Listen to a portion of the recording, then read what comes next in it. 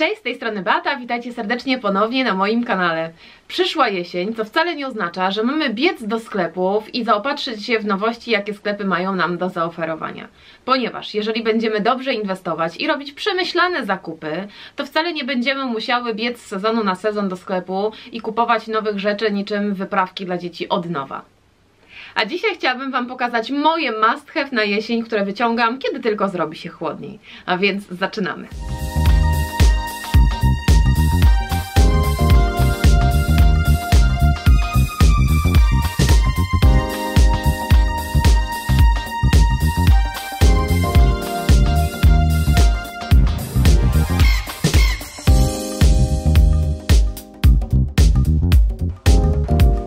Kiedy na dworzu robi się chłodniej, od razu myślimy o tym, żeby coś na siebie narzucić, żeby nie zmarznąć. I kiedy jeszcze jest za ciepło na płaszcze wełniane, to sięgnijmy po tak zwany prochowiec, trench, nie wiem jak zwał, tak zwał, chodzi o dość cienki płaszczyk.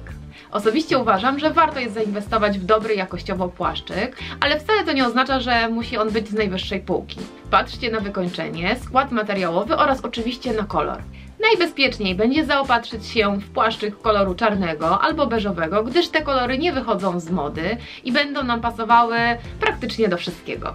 Taki płaszczyk sprawdzi się idealnie do noszenia y, w taką y, porę przejściową. Będzie wyglądał idealnie do jeansów, spódnicy czy sukienki, jak również do płaskich butów czy też do obuwia sportowego, więc jest to uniwersalna rzecz, w którą uważam, że warto zainwestować. Następnie moim takim must have na sezon jesień-zima jest sweter kaszmirowy. Jeśli oglądacie moje filmiki od jakiegoś czasu, to wiecie, że dość często o nich wspominam. Ostatnio wręcz nagrałam filmik, w którym pokazuję jak dbam o swoje kaszmirowe swetry, więc jeżeli go nie widzieliście, to postaram się Wam podlinkować tutaj u góry, żebyście go mogli sobie zobaczyć, albo w opisie filmu poniżej.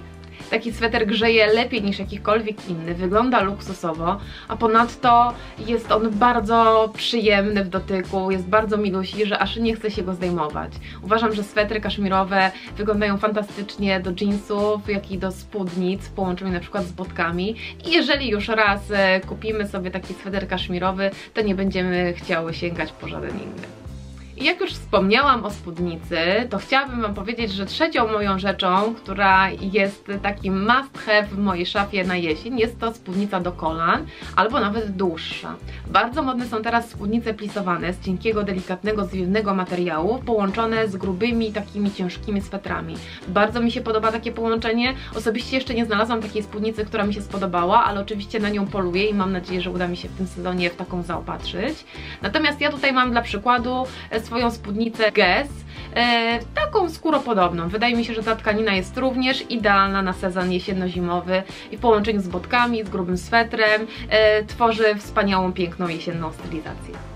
Kolejną rzeczą, bez której nie wyobrażam sobie sezonu jesienno-zimowego są to golfy. Ja mam swój czarny golfik, który średnio wymieniam co dwa, maksymalnie trzy sezony, zależnie od tego, jaka mi się jakość trafiła.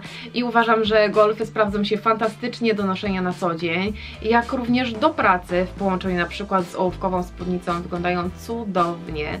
Jak również na weekendy, więc tak naprawdę kiedy tylko mamy ochotę założyć, zależy jak wystylizujemy, to golf wygląda fantastycznie. Ponadto to grzeje nas w szyję i nie musimy nosić szalika. Hmm? Super. Spodnie skórzane. Już od przeszło kilku sezonów nie wyobrażam sobie przetrwania zimy ani jesieni bez tych spodni. Ja swoje kupiłam w Zarze w zeszłym sezonie i są one spodniami skóropodobnymi. Praktycznie w każdej sieciówce dostaniecie już takie spodnie, kiedy zbliża się sezon jesienno-zimowy. Ja uważam, że są bardzo praktyczne i nadają charakteru każdej stylizacji. W zeszłym sezonie przygotowałam taki filmik ze stylizacjami z wykorzystaniem skórzanych spodni. Jeżeli jeszcze go nie widzieliście, to zachęcam do obejrzenia tego filmu. Podlinkuję Wam w opisie filmu poniżej, albo tutaj u góry puszczę też takiego linka, żebyście sobie mogli kliknąć i sprawdzić, w jaki sposób ja noszę te spodnie.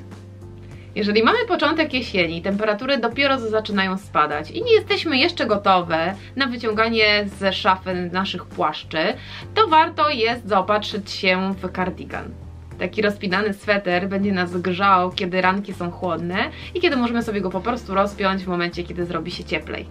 W tym sezonie ja kupiłam sweter w Topshopie, mój kardigan jest koloru takiego kremowego, ma tutaj on takie trzy duże brązowe guziki. Ja wzięłam swój w rozmiarze 36. Oczywiście jeżeli jest on jeszcze dostępny, to podlinkuję Wam w opisie filmu poniżej. I ten sweter mi się sprawdza naprawdę fantastycznie. Noszę go praktycznie codziennie, rano kiedy jadę zawieźć dzieci do przedszkola, bo ranki są dość chłodne i wtedy jeżeli robi się, e, się cieplej, to po prostu ten sweter albo rozpinam, albo go zdejmuję, albo też podwijam rękawy.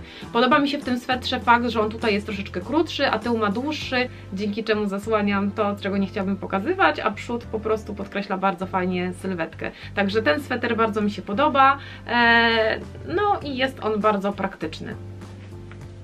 Jeżeli chodzi o obuwie, to faktycznie na tą jesień należałoby się zaopatrzyć w jakieś porządne skórzane botki. Ja niestety jeszcze takich nie znalazłam, ale będę miała się na baczności.